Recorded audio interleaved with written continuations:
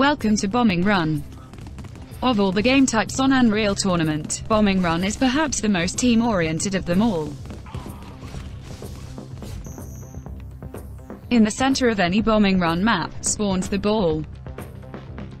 The ball is the most desired object in a match. If the player touches the ball, he receives the ball launcher.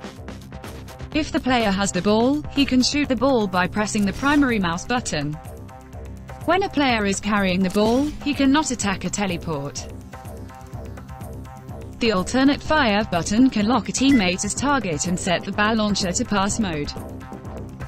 If the player shoots the ball in pass mode, the ball will find its way to the teammate.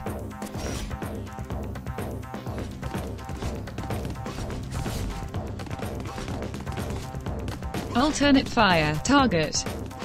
Primary fire, pass. Each team has a goal.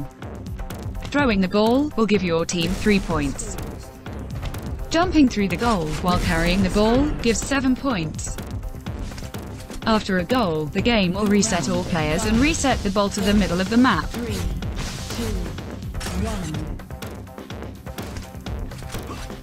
A new round begins.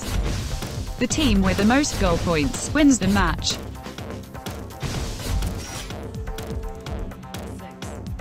If there is a draw at the end of match time, there will be a 2 minutes overtime.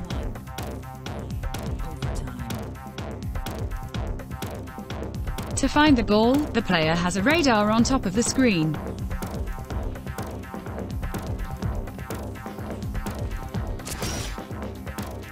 It will show the player in which direction the ball or ball carrier will be and which team owns the ball.